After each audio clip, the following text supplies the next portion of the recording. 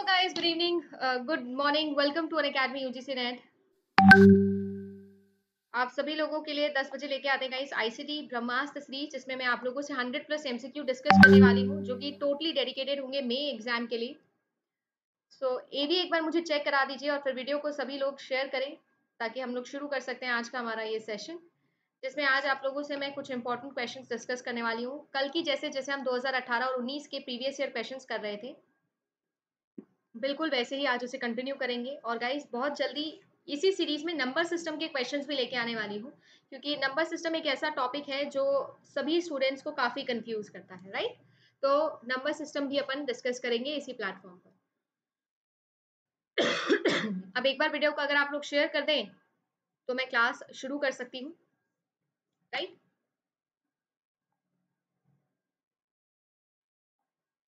तो वीडियो को शुरू करें।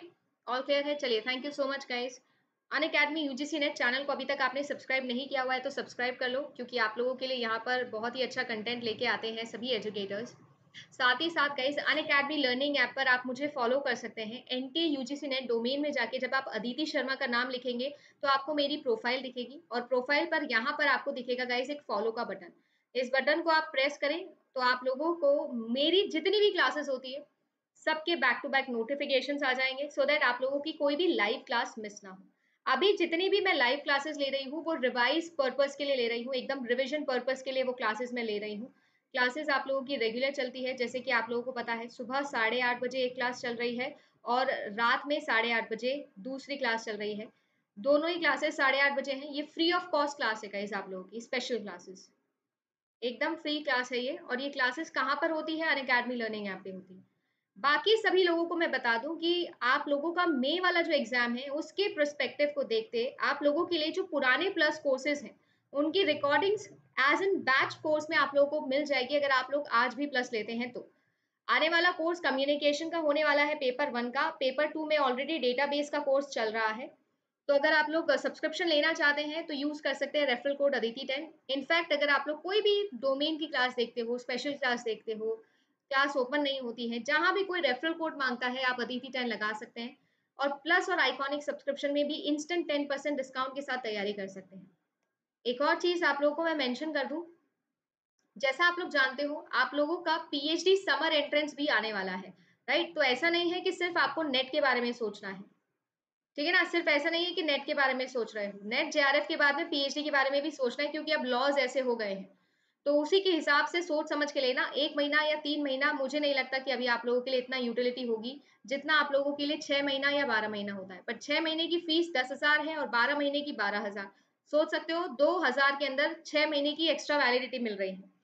तो सोच समझ के अपना डिसीज़न लेना। बाकी आप लोग मेच्योर है, आप लोग अपने आप डिसाइड कर सकते हैं।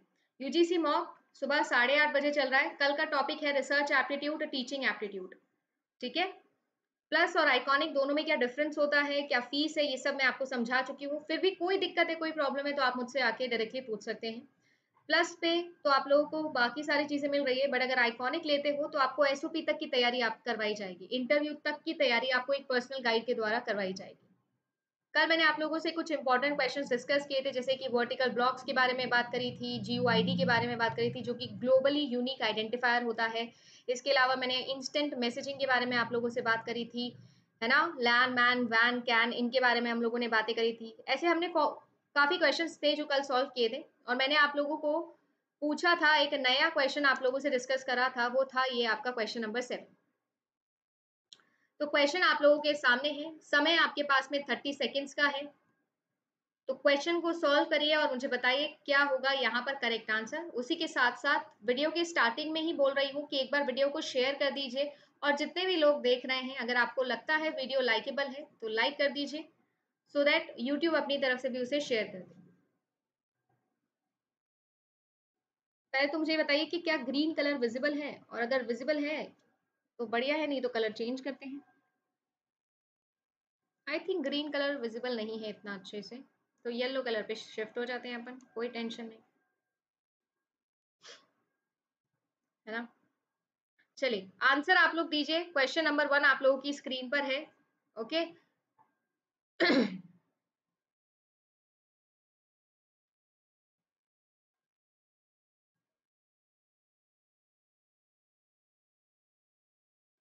how many types of semiconductor memories a computer can have that it uses for the purpose of storage of communication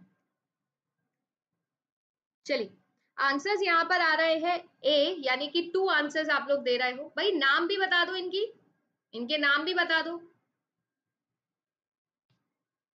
memory hierarchy का ये क्वेश्चन है as you all know right memory hierarchy का ये question है तो भाई बात ऐसी है कि ए आंसर सभी लोग दे रहे हैं। तो करेक्ट आंसर इसका हो जाएगा गाइस टू यानी कि करेक्ट आंसर इस क्वेश्चन का होने वाला है थ्री आई डोंट नो कि आप लोग आंसर में टू क्यों लिख रहे हैं। पहले तो मुझे आप ये समझाइए।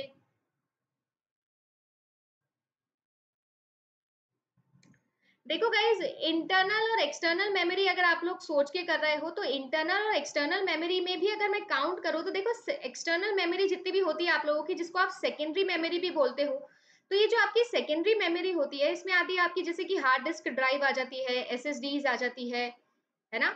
इस तरीके की मेमोरीज होती है। इंटरनल मेमोरी में भी तो दो टाइप की मेमोरी होती है आपकी, जैसे कि आप लोगों का रैम टेक्नोलॉजी और रोम टेक्नोलॉजी तो एक्चुअली में तो तीन टाइप की हो गई ना।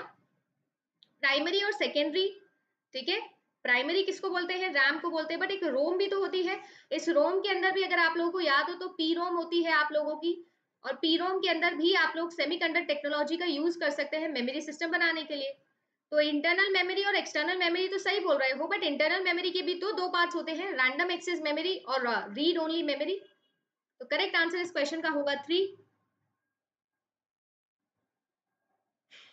या फिर आप अगर इस पर्पज से देख रहे हो, जैसे कि रैंडम एक्सेस मेमोरी होती है रीड ओनली मेमोरी होती है, और इसके अलावा कैश मेमोरी ये भी तो आप लोग बना सकते हो यूजिंग सेमीकंडक्टर टेक्नोलॉजी ये भी तो एक तरीके की टेम्परेरी मेमोरी होती है तो ये भी तो आप सोच सकते थे। तो एक्चुअली इन शॉर्ट अगर मैं बोलूँ आप लोगों से तो तीन तरीके के आप लोगों की मेमोरी सिस्टम्स हैं जो आप लोग बना सकते हैं। ठीक है? तो दो नहीं, तीन इसका करेक्ट आंसर होगा। याद रखेंगे। चलिए नेक्स्ट क्वेश्चन देखते हैं। नहीं, देखो, रोम जो है, उसी का पार्ट है पीरोम, उसी का एक नया वेराइटी है। तो ये ऐसा नहीं है कि रोम हो गया तो मैम पीरोम भी एक टाइप हो जाएगा, फिर तो ई पी रोम भी एक टाइप हो जाएगा, फिर डबल ई पी रोम भी हो जाएगा। रोम एक टेक्नोलॉजी है, उसमें सेमीकंडक्टर टेक्नोलॉजी यूज़ कर सकते हो, उसको प्रोग्रामेबल बना सकते हो, उसके वेरिएशन है। ठीक है, ये उसके वेरिएशन है। टेक्नोलॉजी तो तीन ही है।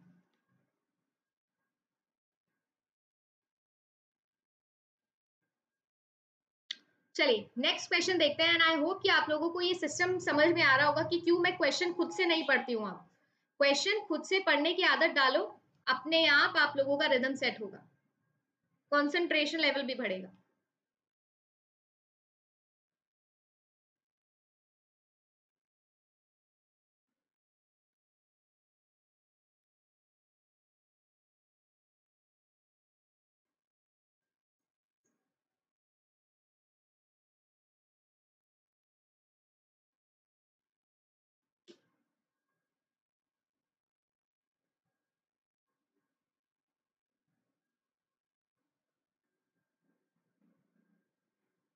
चलिए आंसर तो यहाँ पर भी यूनानिमस ही आ रहा है। सभी लोग आंसर दे रहे हैं मुझे ए ऑप्शन बेसिकली आप लोगों से पूछा ये जा रहा है कि मान लीजिए किसी वेबसाइट पे आप जाते हो, ठीक है? और इस वेबसाइट से आप कोई कंटेंट है, कोई रिसोर्स है जिसे डाउनलोड करने में सक्षम नहीं है है ना?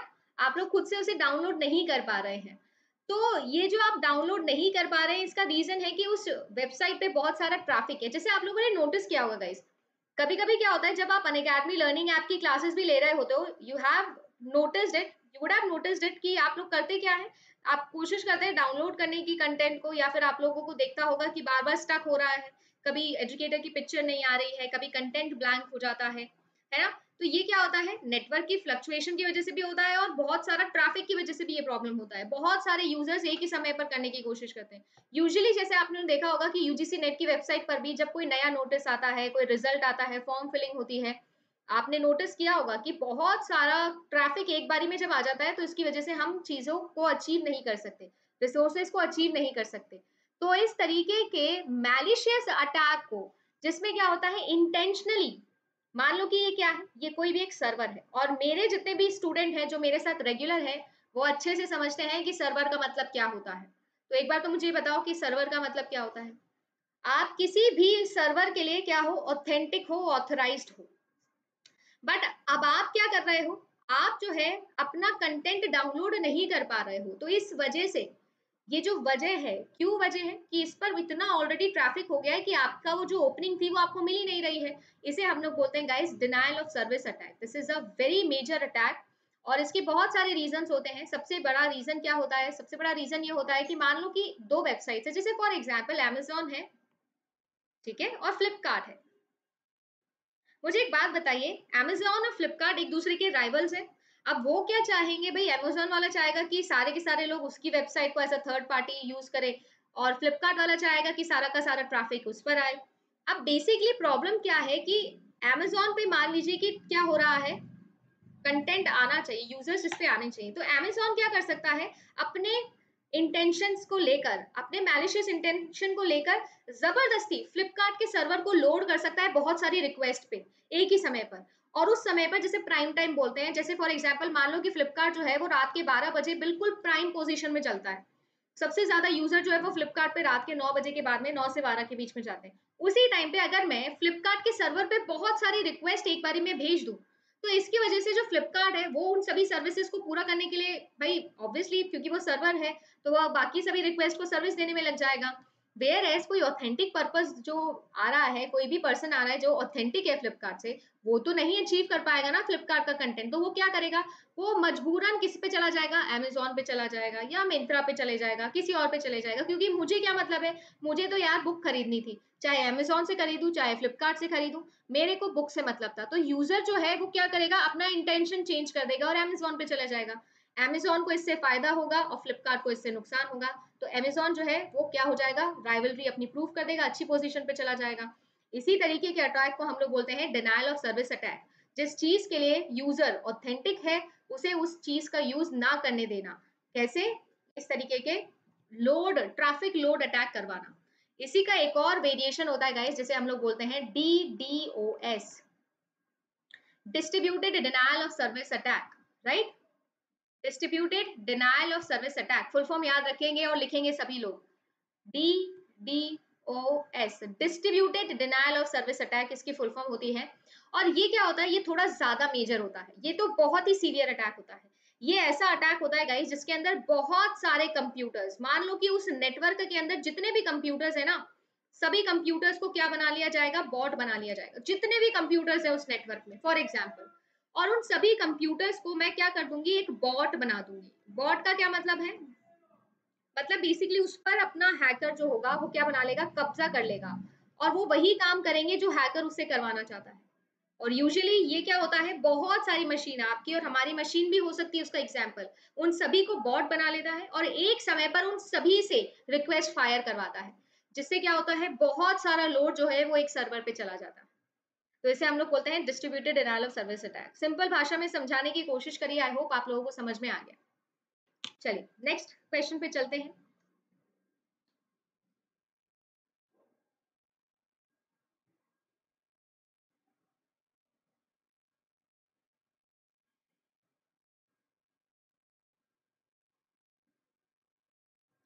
चलिए अटेंडेंस से सभी लोग लगा दें। अभी भी मैं देख रही हूँ, कुछ लोगों ने अभी तक अटेंडेंस नहीं दी है। तो अटेंडेंस लगाएँ सभी लोग, सबसे पहले तो।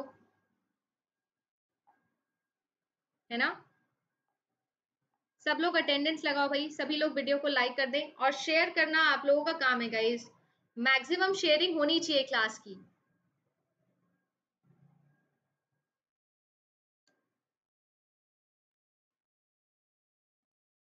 देखो, एक स्टैटिक क्वेश्चन है गाइस और ऐसे क्वेश्चन यूजीसी नेट में काफ़ी पूछ लेता है है ना?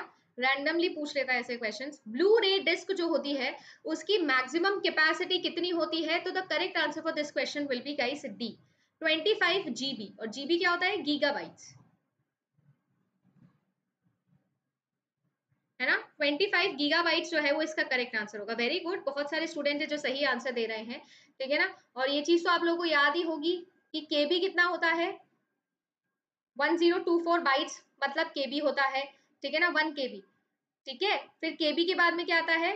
One zero two four KB बराबर होता है आपका वन एमबी ठीक है? और one zero two four M B बराबर होता है वन जीबी एक गीगाबाइट के अंदर कितने बाइट्स होते हैं? अगर ये आपसे पूछा जाए तो one zero two four megabytes होते हैं। यानी अगर मैं इसे एक्सप्रेस करूँ बाइट्स की टर्म में तो one zero two four into one zero two four into one zero two four ठीक है? नेक्स्ट क्वेश्चन देखें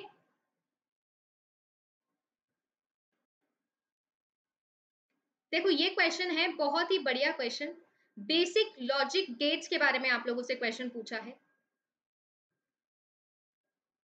और ये बचपन में हम सभी ने पढ़ा है। I think nine tenth standard के अंदर हम सबने पढ़े हैं ये लॉजिक गेट्स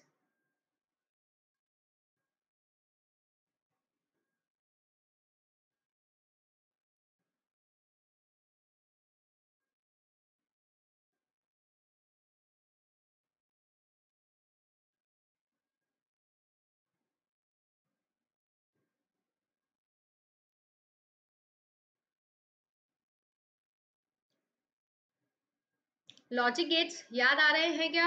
पढ़ा है सभी लोगों ने। 1024 एमबी होंगे एक जीबी के अंदर। देखिए गाइस इसका करेक्ट आंसर हो जाएगा सेवन वेरी गुड जिन्होंने भी करेक्ट आंसर दिया है वेल well डन अब अगर आप लोगों को याद नहीं आ रहा है तो इसको नोट डाउन कर लेना। जैसे कौन कौन से गेट होते थे गाइस एक होता था हमारा एंड गेट राइट फिर होता था हमारा और गेट फिर होता था हमारा नॉट गेट ये तो हमारे सबसे बेसिक गेट्स होते थे। फिर अगर आप लोगों को याद हो तो एक होता था हमारे पास में नैंड गेट फिर होता था हमारे पास में नॉर गेट इन दोनों ही गेट्स को एक और स्पेशल नाम से जाना जाता है, जिनको हम लोग बोलते हैं यूनिवर्सल गेट ठीक है? और फिर हमारे पास में होता था स्पेशल गेट जैसे कि आपका एक्सोर गेट और आप लोगों के पास में होता था एक्सनोर गेट इन दोनों गेट्स को भी स्पेशल नाम से जाना जाता था और इनको बोला जाता था स्पेशल गेट्स ठीक है ना? तो आपके पास में तीन तरीके के गेट्स होते हैं गाइस कौन कौन से? बेसिक गेट्स यूनिवर्सल गेट्स और स्पेशल गेट्स बेसिक गेट्स जिसमें एंड होता है आपका, है ना? जिसको हम प्लस से शो करते थे सॉरी जिसको हम मल्टीप्लाई से शो करते हैं डॉट से शो करते हैं. फिर आपका और गेट होता है, जिसको हम प्लस से शो करते हैं नॉट को हम बार से शो करते हैं या फिर कॉम्प्लीमेंट से शो करते थे, ठीक है? नैंड और नॉर गेट इसको यूनिवर्सल गेट बोला जाता है। कोई मुझे रीजन बताएगा? या आप लोगों का प्रीवियस ईयर क्वेश्चन है कि नैंड और नॉर गेट को यूनिवर्सल गेट्स बोला जाता है। मुझे इसका रीजन बताइए कि क्यों इसे यूनिवर्सल गेट बोला जाता है। और फिर हमारे स्पेशल गेट्स होते हैं एक्सोर और एक्सनॉर एक्सोर की अगर मैं आप लोगों को बोलूँ कि किस तरीके से लिखा जाता है तो वो लिखा जाता था गाइज़ ए डॉट फिर सर्किल और बी मतलब ए प्लस बी यानी कि ये जो है, ये स्पेशल और होता था। जैसे अगर मैं डिस्क्राइब करूँ तो A B bar plus A bar B ऐसे शो करते हैं इसे राइट और एक्सनॉर क्या होता है? एक्सनॉर होता है एक्सोर का बार यानी ए डॉट वेरी गुड क्योंकि हम नैंड और नॉर गेट को मिलके का यूज़ करके बाकी सभी गेट्स को क्या कर सकते हैं? रियलाइज़ कर सकते हैं। इसीलिए यूनिवर्सल गेट कहा जाता है नैंड और नॉर गेट को। मतलब इन दोनों की मदद से हम बाकी सारे गेट्स बना सकते हैं। ठीक है? अच्छा क्वेश्चन है, याद रखेंगे। और इसीलिए बोलती हूँ कि जितने भी कंप्यूटर साइंस के बच्चे हैं ना, उनके लिए वेरी इंपॉर्टेंट होता है आईसीटी की क्लास लेना। इससे आपके बेसिक्स बनते हैं।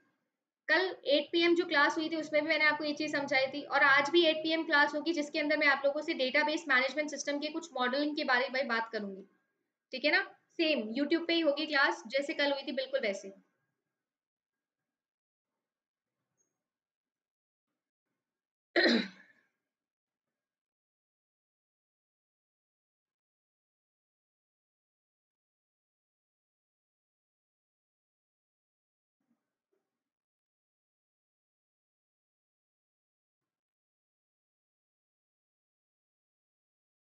चलिए बी आंसर सभी लोग दे रहे हैं। आ, आप लोगों से पूछा जा रहा है software that disturbs the normal function of a computer is known as what sure हो क्या? बी अभी भी ध्यान से देख लो।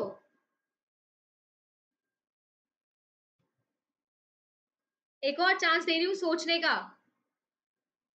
सभी लोग आंसर दे रहे हैं बी एक ने आंसर दिया है वन एक ने फोर एक और चांस है सोचने का। Software that disturbs the normal function of the computer is called as malware this is the definition extra दिमाग जो भी लगाएगा, वो गलत क्वेश्चन करके आएगा। मो मोदक। आई डोंट नो अभी ये कैसा नाम है but he is the only one जिन्होंने करेक्ट आंसर दिया है। ही और शी आई डोंट नो है ना? सिर्फ़ यही है जिन्होंने करेक्ट आंसर दिया। हिंट भी दिया था। कि दोबारा सोच लो, आराम से सोच समझ के आंसर दो। पर नहीं, हम तो जिद्दी है। चलिए तो गलत आंसर करा है आप सभी लोगों ने। सॉफ्टवेयर की बात कर रही थी। मैलवेयर होता क्या है? मैलवेयर एक ऐसा सॉफ्टवेयर है जिसका इंटेंशन ही मैलिशियस है, जो आपके कंप्यूटर के नॉर्मल फ्लो को ब्रेक करने का काम करता है। और मेलवेयर के अलग अलग प्रकार होते हैं, जिसका एक प्रकार होता है वायरस एक है टॉर्जन हॉर्स जैसे कि आपके स्पाईवेयर जैसे कि आपका रैंसमवेयर ये सारे टाइप्स हैं मेलवेयर के। आप एक बात मुझे बताइए कि अगर आप वायरस बोल रहे हो कि ये नॉर्मल फ्लो बिगाड़ता है तो भाई टॉर्जन हॉर्सेस भी तो नॉर्मल फ्लो बिगाड़ते हैं स्पाई है स्पाईवेयर भी तो करता है रैंसमवेयर भी तो करता है। तो देखो, इन सबका एक इंटीग्रेटेड वर्ड आपसे पूछा गया था तो करेक्ट आंसर इसका हो जाएगा मैलवेयर अब आप ये ज़्यादा दिमाग लगा के क्वेश्चन को गलत करके आओगे तो मैं कुछ नहीं कर सकती। बट आज भी अगर यूट्यूब पे आप सर्च करोगे malware class by Aditi ma'am तो आप लोगों को वीडियो मिल जाएगा, जिसमें मैंने आपको ये डिटेल में समझाया था। देखते हो क्या? अरे रिवीजन वगैरह करते हो कि बस ऐसे ही, बस आ जाते हैं टेस्ट देने? ये सब पढ़ाया हुआ चीज़ें हैं। चलो नेक्स्ट क्वेश्चन देखो। Very important question guys it is a very important question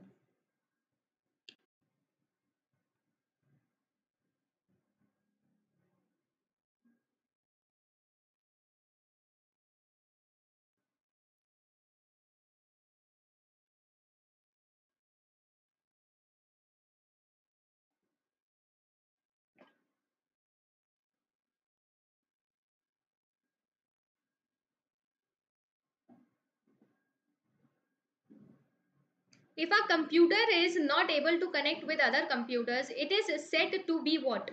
Communication gap, offline, sleeping mode, switch off mode या फिर boot mode.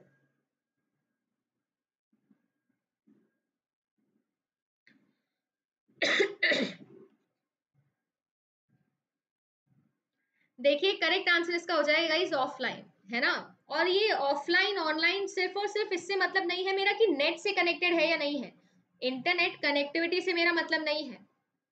ठीक है ना? अगर कोई भी एक कंप्यूटर है, ठीक है? एक तो मुझे ये समझ नहीं आता कुछ भी।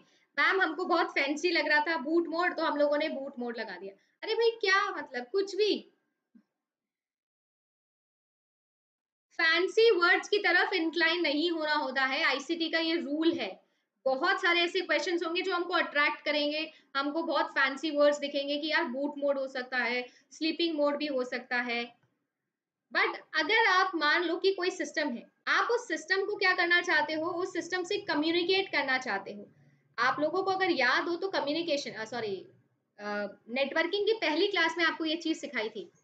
नेटवर्किंग का मतलब और कुछ नहीं है। नेटवर्किंग का मतलब है दो या ज़्यादा। दो और ज़्यादा, यानी टू और मोर कंप्यूटर्स जब एक दूसरे से क्या करना चाहते हैं, बातचीत करना चाहते हैं, इसी को हम लोग बोलते हैं नेटवर्क सबसे छोटा नेटवर्क जो होता है, वो होता है आपका लैंड नेटवर्क उससे भी छोटा पैन नेटवर्क है ना? यही तो पढ़ा था। तो अगर एक कंप्यूटर जो है, आप उससे कम्युनिकेट नहीं कर पा रहे हो मतलब वो नेटवर्क पे नहीं है मतलब वो ऑफलाइन है। लगा लिया एक्स्ट्रा दिमाग। और ये है वेरी वेरी इंपॉर्टेंट क्वेश्चन 2019 का क्वेश्चन है बहुत ही अच्छा क्वेश्चन है और 90 परसेंट लोगों ने इसका आंसर स्लीपिंग मोड लगा के आए थे उस एग्ज़ाम के अंदर। But the correct answer for this question will be offline fancy words की तरफ़ इंक्लाइन होंगे तो आंसर्स गलत होंगे।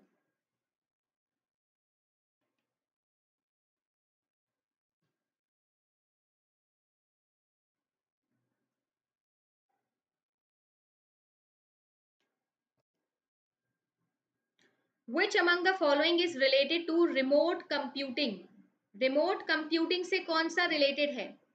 बूट मोड का मतलब होता है जब कंप्यूटर बूट हो रहा होता है। जब बूटिंग प्रोग्राम चल रहा होता है। बूटिंग प्रोग्राम क्या होता है? जब रोम में से रीड ओनली मेमोरी में से बूट स्ट्रैप बूट स्ट्रैप जो है, वो एग्जीक्यूट हो रहा होता है। कर्नल एग्जीक्यूट कर रहा होता है इसको। ठीक है ना? बूट स्ट्रैप रन हो रहा होता है। दो तरीके की बूटिंग होती है गाइस एक होती है आपकी वार्म बूटिंग और एक होती है आपकी कोल्ड बूटिंग ठीक है? जब आप पहली बार कंप्यूटर को स्टार्ट करते हो तो कोल्ड बूटिंग होती है और जब आप कंप्यूटर को रीस्टार्ट करते हो तो वो होती है वार्म बूटिंग दो तरीके की बूटिंग आपके कोर्स में है। चलिए which among the following is related to remote computing अच्छा सबसे पहली बात तो मुझे एक बात बताना। किसी भी इंफॉर्मेशन एंड कम्युनिकेशन टेक्नोलॉजी को हम रिमोट कब बोलते हैं? किसी भी चीज़ को गाइस रिमोट कब बोलते हो आप? वो सारी चीज़ें तो चलो ठीक है, पर आप मुझे पहले बताओ कि रिमोट का क्या मतलब होता है? ये टीवी रिमोट की बात हो रही है क्या? देखो टीवी रिमोट तो रिमोट कंप्यूटिंग का एक एग्ज़ाम्पल है।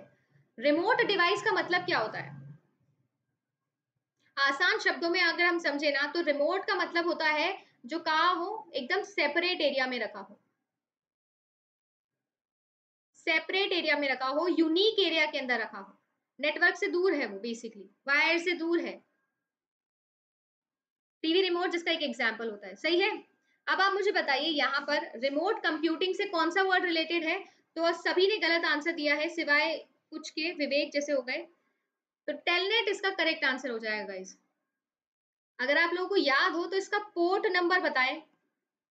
कंप्यूटर साइंस स्टूडेंट से पूछ रही हूँ। पोर्ट नंबर बताओ मुझे टेलनेट का। हाँ रिमोट का मतलब होता है जो अलग होता है। यूनिक सेपरेट होता है। जिसको आप पोर्टेबल बोल सकते हो मोबाइल बोल सकते हो, जो अलग होता है। तो टेलनेट जो है, वो यहाँ पर रिमोट कंप्यूटिंग का प्रोटोकॉल होता है। पोर्ट नंबर अगर किसी को इसका याद है तो मुझे जरा बता दे। इसका पोर्ट नंबर क्या होता है? टेलनेट क्या है? टेली कम्युनिकेशन नेटवर्किंग ठीक है? तो ईथरनेट इंट्रानेट इंटरनेट ये सब गलत आंसर्स है। रिमोट कंप्यूटिंग से रिलेटेड है आपका टेलनेट टेलनेट फ़ेमस ही है किसके लिए? रिमोट कंप्यूटिंग के लिए। एंड हैंड हेल्ड या फिर मोबाइल कंप्यूटेशन के लिए यूज़ किया जाता है। तो टेली कम्युनिकेशन नेटवर्क में इसे यूज़ किया जाता है। अगर किसी को इसका पोर्ट नंबर याद नहीं आ रहा है तो 23 और 25 दोनों में से कौन सा होता है ये बताओ जरा। बिल्कुल 23 होता है, ठीक है ना? टेली कम्युनिकेशन नेटवर्किंग के लिए। बेसिकली रिमोट डिवाइसेस की नेटवर्किंग के लिए इसे यूज़ किया जाता है, जैसे वॉकी टॉकी हो गया मोबाइल फोन्स हो गए, उनके लिए। ये प्रोटोकॉल है, ठीक है ना? इसकी डिटेल में जाना आईसीटी के लिए कोर्स में नहीं है, ठीक है? बट इतना समझ लेना ये रिमोट कंप्यूटिंग के लिए होता है। नेक्स्ट क्वेश्चन देखें।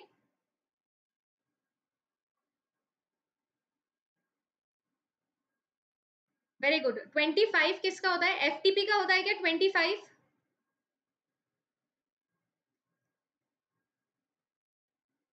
कि एस का होता है। चलिए लिख ही दिया किसी ने। वेरी गुड एफटीपी का होता है कि एस का होता है? सिंपल मेल ट्रांसफ़र प्रोटोकॉल और फ़ाइल ट्रांसफ़र प्रोटोकॉल दोनों में से किसका होता है? ट्वेंटी फाइव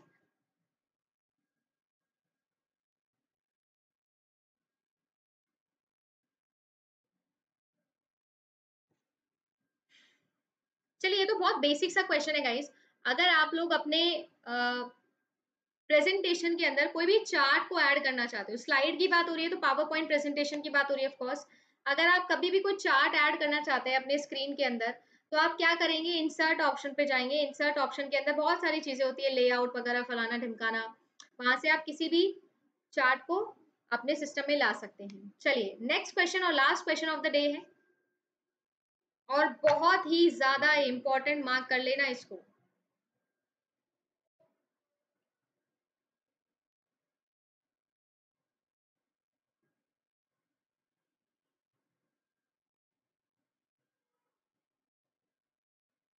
हाँ जी ट्वेंटी फाइव होता है एसएमटीपी का सिंपल मेल ट्रांसफ़र प्रोटोकॉल का वेरी गुड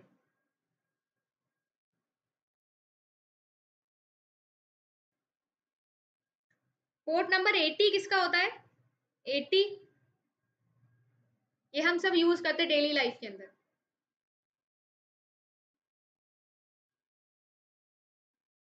चले an internet service provider that provides multimedia interface to available resources is known as what?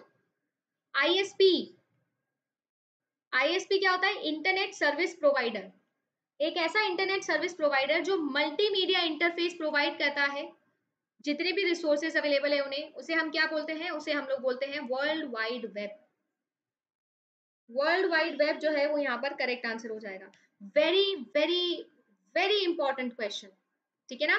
W W W जो होता है गाइस वर्ल्ड वाइड वेब जो होता है, वो क्या है? जैसा हम लोगों ने डिस्कस किया, ये बहुत बड़ा रिपोस्ट्री है जिसपे मल्टीमीडिया इंफॉर्मेशन है रिसोर्सेज हैं। पिक्चर्स भी हैं, इस पे मूवीज़ भी हैं, इस पे इस पे आप लोगों की, है ना? इंफॉर्मेशन भी है, इसमें आप सब कुछ है। वीडियो ऑडियो सब कुछ, हर तरीके का रिसोर्स है। जो भी एक आईएसपी है, ये इंटरनेट सर्विस प्रोवाइडर है, जो हमें क्या देता है? हमें क्या करता है? हमारे कंप्यूटर पे ये सारे रिसोर्सेज ला के देता है है ना? Internet service provider right? That provides multimedia interface to available resources is called as www which is world wide web. Very important question. और आप लोगों को अगर याद हो तो तीन दिन पहले मैंने आप लोगों को पूछा था कि फिफ्थ डब्ल्यू क्या होता है? World wide web fourth W का मतलब होता है guys bomb write once read many और जो फिफ्थ डब्ल्यू होता है, उसका मतलब होता है ब्रिंगलर है ना? ब्रिंगलर ठीक है? ये होता है आपका फिफ्थ डब्ल्यू तो ये चीज़ें भी आपको याद रखनी है। एक क्वेश्चन में देखे जा रही हूँ आप लोगों को होमवर्क में और ये मैंने आप लोगों को बहुत डिटेल में मेमोरी हायर में पढ़ाया है। If you remember memory hierarchy जो है, अपने उसमें ये डिस्कस किया था। तो ये सारे आंसर्स मुझे अभी लाइव चैट में कोई नहीं देगा। लाइव चैट में कोई नहीं देगा। मुझे देंगे कमेंट सेक्शन के अंदर आंसर ठीक है ना? कमेंट सेक्शन के अंदर बताएँगे आप लोग और नंबर सिस्टम भी अपन शुरू करेंगे गाइज़ जैसे ये क्वेश्चंस खत्म होंगे, ठीक है? तो इस क्वेश्चन का आंसर आप मुझे कमेंट सेक्शन में देंगे। वीडियो को सभी लोग लाइक कर देंगे सो so दैट मुझे आइडिया लग जाए कि कौन कौन लोग थे जो लाइव आए थे ओके okay? और साथ ही साथ याद रखेंगे कि रात को आठ बजे नया सेशन शुरू किया है कंप्यूटर साइंस स्टूडेंट्स के लिए, जिसमें मैं आप लोगों से डिटेल में डिस्कशन कर रही हूँ डेटाबेस मैनेजमेंट सिस्टम के एमसीक्यूज और साढ़े आठ बजे आप लोगों की आज एक स्पेशल क्लास लगाई है रात में, जिसमें मैं आप लोगों से हायर एजुकेशन का टॉपिक डिस्कस कर रही हूँ। ठीक है? क्यूएस रैंकिंग के बारे में बात करेंगे और एनआईआरएफ रैंकिंग के बारे में बात करेंगे। ठीक है? तो ये दोनों वेरी इंपॉर्टेंट टॉपिक्स होते हैं, मैं हायर एजुकेशन नहीं पढ़ाती हूँ, सिर्फ़ कुछ टॉपिक्स पढ़ाती हूँ। क्यूएस रैंकिंग अभी रिसेंटली आई है, दो दिन पहले इसलिए, और एनआईआरएफ ये दोनों ही रैंकिंग सिस्टम आज रात को साढ़े आठ बजे पढ़ेंगे स्पेशल क्लास में। क्लास का जो लिंक है, वो कमेंट सेक्शन में भी मिल जाएगा। डिस्क्रिप्शन में पहला लिंक मेरी प्रोफ़ाइल का है, वहाँ पर भी मिल जाएगा। अन अकेडमी लर्निंग ऐप पर जाओगे तो आप लोगों को इस तरीके से मेरा प्रोफ़ाइल मिलेगा, वहाँ पर भी मिल जाएगा। ठीक है? तो thank you so much guys for watching this video अगर आपको अच्छा लगा तो वीडियो को लाइक करना आपका रिस्पॉन्सिबिलिटी है। रीच बढ़ानी है शेयर करना है वीडियो को। और मैं मिलूँगी अब आप लोगों से पाँच बजे कंप्यूटर साइंस के प्लस क्लास में। Okay thank you so much have a nice day